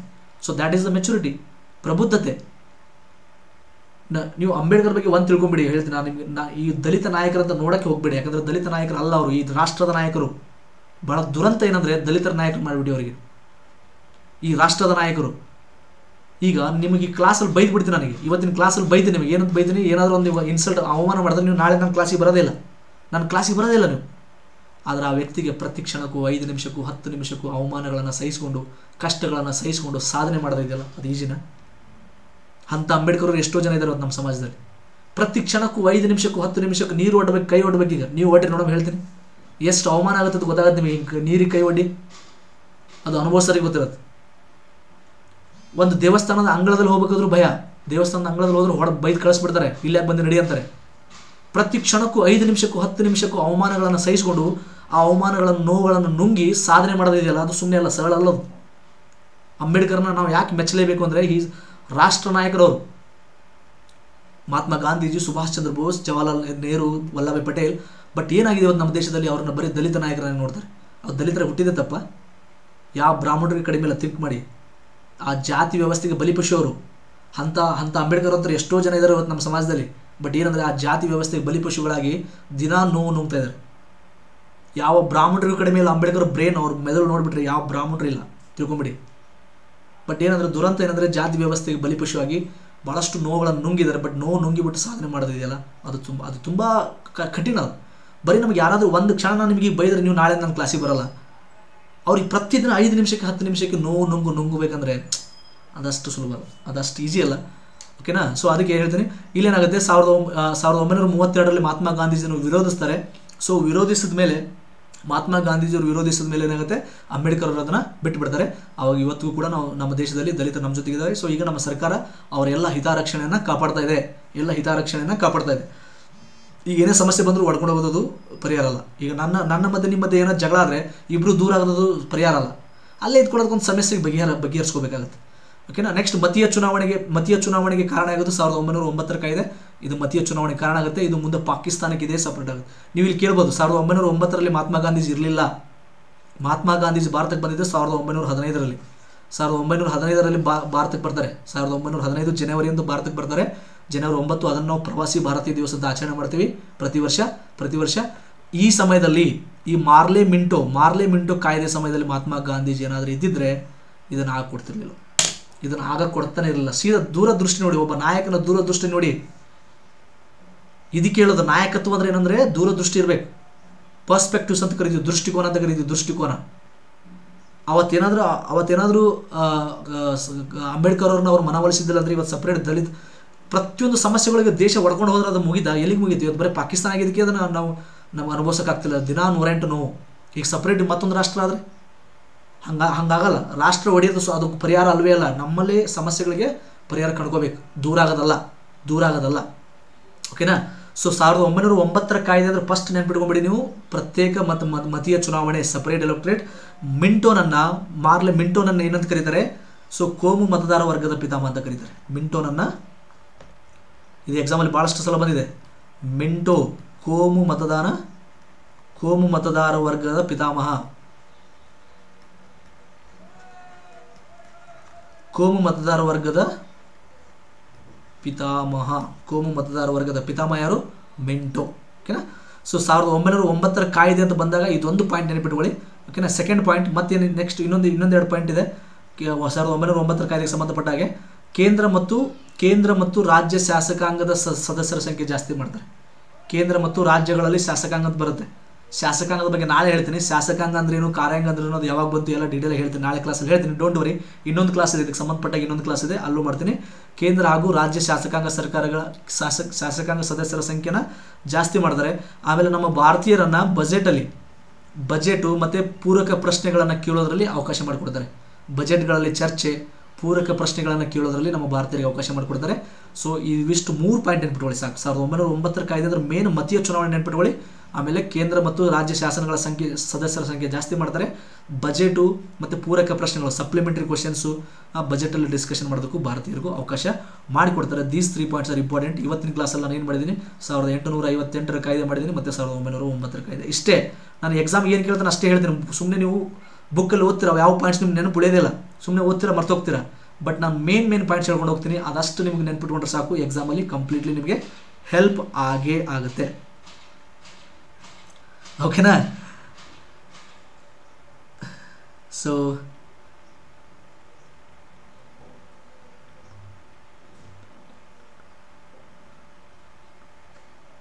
ಹಾಂ ಮತೀಯ ಚುನಾವಣೆ ಭಾಳ ಜನ ಆನ್ಸರ್ ಮಾಡಿದ್ದೀರಾ. ಓಕೆನಾ thank you thank you so much so ನಾನು ಇವ ಈಗ ಆಲ್ಮೋಸ್ಟ್ ಎಷ್ಟಾಯಿತು ಟ್ವೆಲ್ ತರ್ಟಿ ಟು ಆಯಿತು. ಎಕ್ಸಲ್ ಟ್ವೆಂಟಿ ಮಿನಿಟ್ಸ್ ಕ್ಲಾಸು ಯೂಟ್ಯೂಬಲ್ಲಿ ಟ್ವೆಂಟಿ ಮಿನಿಟ್ಸ್ ಕ್ಲಾಸ್ ಇದೆ but thirty thirty two minutes ಆಗ್ತಾ ಇದೆ. ಇರಲಿ. ಇವತ್ತಿನ ಕ್ಲಾಸ್ ಏನು ನೆನ್ಪಿಟ್ಕೊಳ್ಳಿ? ಸಾವಿರದ ಎಂಟುನೂರ ಐವತ್ತೆಂಟರ ಕಾಯ್ದೆ ನೆನ್ಪಿಟ್ಕೊಳ್ಳಿ. ಸಾವಿರದ ಎಂಟುನೂರ ಐವತ್ತೆಂಟರ ಕಾಯ್ದೆ ಮೂರು ಪಾಯಿಂಟು, ಸಾವಿರದ ಒಂಬೈನೂರ ಒಂಬತ್ತರ ಕಾಯ್ದೆ ನೆನ್ಪಿಟ್ಕೊಳ್ಳಿ. ಸಾವಿರದ ಒಂಬೈನೂರ ಒಂಬತ್ತರ ಕಾಯ್ದೆ ಪಾಕಿಸ್ತಾನದ ಉಗಮಕ್ಕೆ ಕಾರಣ. ಸಾವಿರದ ಒಂಬೈನೂರ ಒಂಬತ್ತರ ಕಾಯ್ದೆ ಸೀಡು. ಈಗಲೇ ಹೇಳಿದ್ದೀನಿ, ಪ್ರತ್ಯೇಕ ಮತದಾನ ಅಂದ್ರೆ ಅಂತ ಹೇಳಿದ್ದೀನಿ? ಒಂದು ಒಂದೇ ಡಿಸ್ಟಿಕಲ್ಲಿ ಎರಡು ರಾ, ಎರಡು ದೇಶಗಳ ನಿರ್ಮಾಣ. ಓಕೆ? ಸೀಡು, ಸ್ಪ್ರಾಟ್ ಏನು? ಸ್ಪ್ರಾಟ್ ಅಂದ್ರೆ ಮೊಳಕೆ. ಮೊಳಕೆ ಏನಂದ್ರೆ ರೇಮತ್ ಅಲಿ. ನೆನಪಿಟ್ಕೊಳ್ಳಿ ಭಾಳ ಇದನ್ನೇ ಎಕ್ಸಾಂಪಲ್ ಬಂದಿದೆ. ಪಾಕಿಸ್ತಾನ ಅನ್ನೋ ಶಬ್ದ ಹುಟ್ಟಾಕ್ದವನು ಅವನೇ, ರೇಮತ್ ಅಲಿ. ಪಾಕಿಸ್ತಾನ ಶಬ್ದ ಹುಟ್ಟಾಕ್ತಾನೆ ಪಾಕಿಸ್ತಾನದ ಸಪ್ರೇಟ್ ದೇಶಕ್ಕೋಸ್ಕರ ಫಸ್ಟ್ ಬೇಡಿಕೆ ಇಟ್ಟಿದ್ದು ರೇಮತ್ ಅಲಿ. ಆಮೇಲೆ ಸರ್ ಮೊಹಮ್ಮದ್ ಇಕ್ಬಾಲ್, ಸಾರೇ ಜಹಾಸೆ ಅಚ್ಚ ಹಾಡ ಕೇಳಿದ್ರ? ಸಾರೇ ಜಹಾಸೆ ಅಚ್ಚ ಸಾಂಗ್ ಬರ್ದ ಮೊಹಮ್ಮದ್ ಇಕ್ಬಾಲೆ. ಅವನು ಮೊದಲು ದೇಶಪ್ರೇಮಿ, ಮುಂದೆ ಬ್ರಿಟಿಷರ್ ಮಾತು ಕೇಳಿ ಎಲ್ಲ ಚೇಂಜ್ ಆಗ್ತಾರೆ. ಬ್ರಿಟಿಷರ್ ಮಾತು ಕೇಳಿ ತಲೆ ಹುಳ ಬಿಟ್ಕೊಂಡು ಬದಲಾಗ್ತಾರೆ. ಸೊ ಮೊಹಮ್ಮದ್ ಇಕ್ಬಾಲ್ ಏನಾಗುತ್ತೆ? ಮೊಹಮ್ಮದ್ ಇಕ್ಬಾಲ್ ಮುಸ್ಲಿಂ ಮುಸ್ಲಿಂ ಜನಸಂಖ್ಯೆ ಜಾಸ್ತಿ ಇರೋ ಪ್ರದೇಶಗಳಿಗೆ ಸ್ವಾಯತ್ತತೆ ಕೇಳ್ತಾರೆ. ಮುಂದೆ ಟ್ರೀ ಆಗುತ್ತೆ ಟ್ರೀ ಗಿಡ ಆಗುತ್ತೆ. ಯಾವಾಗ? ಸೊ ಮೊಹಮ್ಮದ್ ಅಲಿ ಜಿನ್ನ ಮೊಹಮ್ಮದ್ ಅಲಿ ಜಿನ್ನಾ ಲಾಹೋರ್ ಮುಸ್ಲಿಂ ಲೀಗ್ ಅಧಿವೇಶನ ಸಾವಿರದ ಒಂಬೈನೂರ ನಲವತ್ತರಲ್ಲಿ ಪಾಕಿಸ್ತಾನಕ್ಕಾಗಿ ಸಪ್ರೇಟ್ ಬೇಡಿಕೆ ಇಡ್ತಾರೆ. ಓಕೆ ಮುಂದೆ ಫ್ರೂಟ್ ನಮಗೆ ಹಣ್ಣುಗಳು ಸಿಗ್ತವೆ. ಯಾವ ಹಣ್ಣು ಸಿಗುತ್ತೆ? ಸಾವಿರದ ಒಂಬೈನೂರ ನಲವತ್ತೇಳು ಪಾಕಿಸ್ತಾನದ ಸಪ್ರೇಟ್ ಆಗುತ್ತೆ. ಪಾಕಿ formation formation of the new state that is Pakistan. Pakistan ಹುಡುಗೊಳುತ್ತೆ fruit ಹೆಂಗಿದೆ? ಹಣ್ಣು ಹೆಂಗಿದೆ? ಕೈ ಇದೆ, ಸಿಹಿ ಇದೆ. ತುಂಬ ಕೈ ಇದೆ. ಭಾಳಷ್ಟು ಕಷ್ಟ ಅನುಭವಿಸ್ಬಿಟ್ಟಿವಿ ಪಾಕಿಸ್ತಾನದಿಂದ ಭಾಳಷ್ಟು ತಲೆನೋವು ದಿನಾ ನೂರ ಎಂಟು ಸಮಸ್ಯೆ. ಮೊದಲೇ ನಮ್ಮ ದೇಶ ನಮಗೆ ನೂರ ಎಂಟು ಸಮಸ್ಯೆ ಇದೆ, ಮತ್ತು ಅದೊಂದು ಸಮಸ್ಯೆ ಕ್ರಿಯೇಟ್ ಮಾಡ್ತಾರೆ ಓಕೆನಾ so that is the thing ಅದಕ್ಕೆ ಮೂಲ ಕಾರಣ, ಪಾಕಿಸ್ತಾನಕ್ಕೆ ಮೂಲ ಕಾರಣ ಸಾವಿರದ ಒಂಬೈನೂರ ಒಂಬತ್ತರ ಕಾಯ್ದೆ. ಅದು ಪ್ರತ್ಯೇಕ ಮತದಾನ ವರ್ಗ ಅಥವಾ ಮತೀಯ ಚುನಾವಣೆ. ಅವಾಗ ಏನಾದರೂ ಮಹಾತ್ಮ ಗಾಂಧೀಜಿ ಇದ್ದರೆ ಅದನ್ನು ವಿರೋಧ ಮಾಡ್ತಿದ್ರು. ಆ ಸಮಯದಲ್ಲಿ ಮಹಾತ್ಮ ಗಾಂಧೀಜಿ ಇರಲಿಲ್ಲ. ಸೊ ಅದು ಕೈ ಮೀರಿ ಹೋಗಿತ್ತು. ಕೈ ಮೀರಿ ಮುಂದೆ ಕೈ ಮೀರಿ ಹೋಗಿತ್ತು. ಮುಂದೆ ಇದೇ ಥರ ದಲಿತರಿಗೆ ಸಪ್ರೇಟ್ ಕೇಳಿದಾಗ ಅವರು ಅಂಬೇಡ್ಕರ್ನ ಮನವೊಲಿಸಿ ಅದನ್ನು ಬಿಡಿಸ್ತಾರೆ. ಸೊ ಆವಾಗ ಅಂಬೇಡ್ಕರ್ ಅಂಬೇಡ್ಕರ್ಗೂ ನಾವು ದೊಡ್ಡದೊಂದು ಸಲ್ಯೂಟ್ ಹೊಡಿಬೇಕು. ಯಾಕಂದರೆ ಅವ್ರು ದೊಡ್ಡವ್ರ ಮಾತು ಕೇಳಿದ್ರು. ಮಹಾತ್ಮ ಗಾಂಧೀಜಿ ಮಾತು ಕೇಳಿದ್ರು ತಾನೆ. ಅಂಬೇಡ್ಕರ್ ಅವರು ಅಂಬೇಡ್ಕರ್ ಅವರಷ್ಟು ಶೋಷಣೆ ಮೊಹಮ್ಮದ್ ಅಲಿ ಜಿನ್ನ ಅನುಭವಿಸಿಲ್ಲ. ಅಥವಾ ನಮ್ಮ ದೇಶದಲ್ಲಿ ದಲಿತರಷ್ಟು ಶೋಷಣೆ ಮುಸ್ಲಿಮರು ಅನುಭವಿಸಿಲ್ಲ. ಆ್ಯಕ್ಚುಲಿ ದಲಿತರು ಏನು ಸಪ್ರೇಟ್ ದೇಶಕ್ಕೆ ತೊಗೊಂಡು ಹೋಗ್ಬೇಕು. ಬಟ್ ಆದರೂ ಅಂಬೇಡ್ಕರ್ ಅವರು ಅಷ್ಟೆಲ್ಲ ಅಂಬೇಡ್ಕರ್ನ ಅದಕ್ಕೆ ಇಷ್ಟಪಡೋದು ಅವ್ರು ಎಷ್ಟೇ ನೋವಾಗಿದ್ದರೂ ಕೂಡ, ಏನಾಗಿದ್ರು ಕೂಡ ಯಾವತ್ತೂ ದೇಶದ್ರೋಹಿ ಕೆಲಸ ಎಂದು ಮಾಡಿಲ್ಲ. ತಿಳ್ಕೊಬೇಡಿ. ನೀವು ಇತಿಹಾಸ ಓದಿ, ನಾನು ಅವರು ಅವ್ರ ಜೀವನ ಚರಿತ್ರೆ ಎಲ್ಲ ಓದಿದ್ದೀನಿ ಬಯೋಗ್ರಫಿ ಎಲ್ಲ ಓದಿದ್ದೀನಿ. ಗಾಂಧೀಜಿದು ಓದಿದ್ದೀನಿ, ನೆಹರು, ಅಂಬೇಡ್ಕರ್ ಎಲ್ಲರದ್ದು ಓದಿದ್ದೀನಿ ನಾನು. I have I have read all those books so ನಾನು ಅದಕ್ಕೆ ನಾನು ಯಾಕೆ ಇಷ್ಟಪಡ್ತೀನಿ ಅಂದರೆ ಯಾವ ಬ್ರಾಹ್ಮಣರಿಗೂ ಕಡಿಮೆ ಇಲ್ಲ. ನಮ್ಮ ದೇಶದಲ್ಲಿ ಮೊದಲು ವರ್ಣ ಪದ್ಧತಿ ಇತ್ತು, ಈ ಜಾತಿ ಪದ್ಧತಿ ಆಗ್ಬಿಡ್ತು. ಜಾತಿ ಪದ್ಧತಿ ಅನುವಂಶ ಆಗ್ಬಿಡ್ತು. ವರ್ಣ ಪದ್ಧತಿ ಇದ್ದರೆ ಮ ಅಂಬೇಡ್ಕರ್ ಅವರು ಬ್ರಾಹ್ಮಣರಾಗಿರ್ತಿದ್ರು. ವರ್ಣ ಪದ್ಧತಿಯಲ್ಲಿ ಅಂಬೇಡ್ಕರ್ ಅವರು ಬ್ರಾಹ್ಮಣರು. Highly intelligent super brain but ಏನು ಮಾಡೋದು, ದ ದುರಂತ ಏನಂದರೆ ಇವತ್ತು ನಮ್ಮ ದೇಶದಲ್ಲಿ ಬರೀ ದಲಿತ ದಲಿತ ನಾಯಕರಾಗಿದ್ದಾರೆ. ಅದು ಭಾಳಷ್ಟು ದುರಂತ ಟ್ರಾಜಿಡಿ ಒಂದು ದುರಂತ. ಓಕೆನಾ so this is all about today's class ಮತ್ತೆ ನೆಕ್ಸ್ಟ್ ಕ್ಲಾಸಲ್ಲಿ ಸಿಗೋಣ.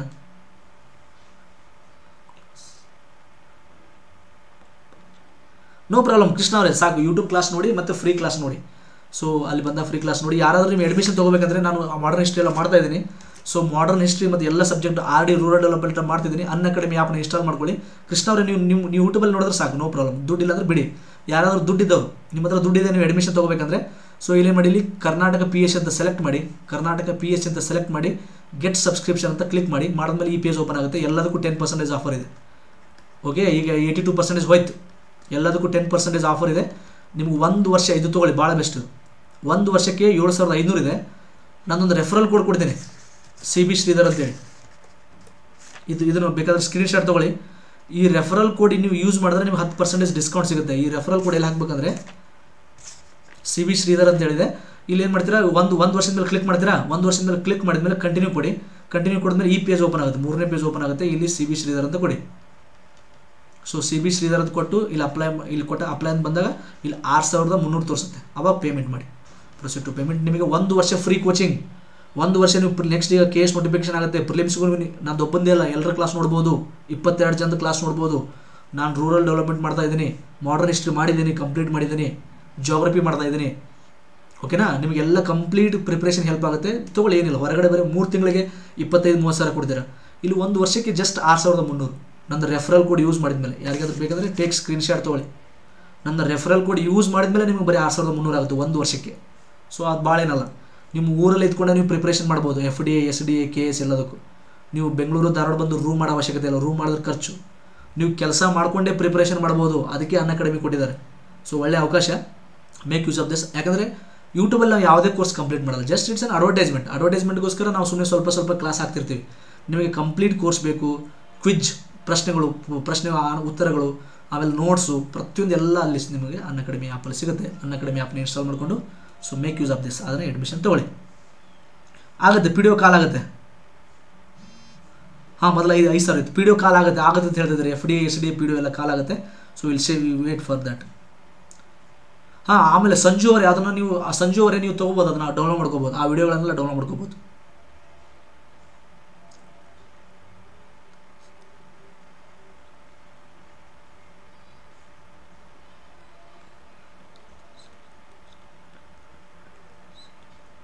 ಓಕೆ ಮಂಜುನಾಥ್ ಅವರು ಡೀಪ್ಲಿ ಕೇಳ ಕೇಳ್ತಾ ಇದ್ದಾರೆ okay will will discuss it but ನಾನೇನಂದರೆ just I am covering it for K P C exams okay ನಿಮ್ಮ ನಿಮ್ಮದು ಲೆಕ್ಚರಿಂಗ್ ಸಿಲೆಬಸ್ ಏನಿದೆ ಗೊತ್ತಿಲ್ಲ ನನಗೆ.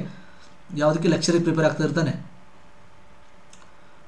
Preparing for degree college lecturer S so ಅದ್ರ ಸಿಲೆಬಸ್ ನನಗೆ ಗೊತ್ತಿಲ್ಲ ಬಟ್ ನಾವು we are we are doing it for F D A S D A P D O K S P S I ಇದಕ್ಕೆಲ್ಲ ಮಾಡ್ತಾ ಇದ್ದೀನಿ. ಬಟ್ ಅದ್ರ syllabus ನನಗೆ ಗೊತ್ತಿಲ್ಲ. ನಿಮಗೆ ಎಷ್ಟು ಹೆಲ್ಪ್ ಆಗುತ್ತೆ, ಅದರಿಂದ ತೊಗೊಳ್ಳಿ ಇದರಿಂದ ತೊಗೊಳ್ಳಿ.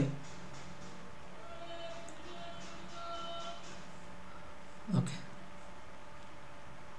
ಥ್ಯಾಂಕ್ ಯು ಸೊ ಇಲ್ಲಿ ಮುಗಿಸ್ತೀನಿ ಕ್ಲಾಸು ಥ್ಯಾಂಕ್ ಯು ಮತ್ತೆ ನೆಕ್ಸ್ಟ್ ಕ್ಲಾಸಲ್ಲಿ ಸಿಗೋಣ.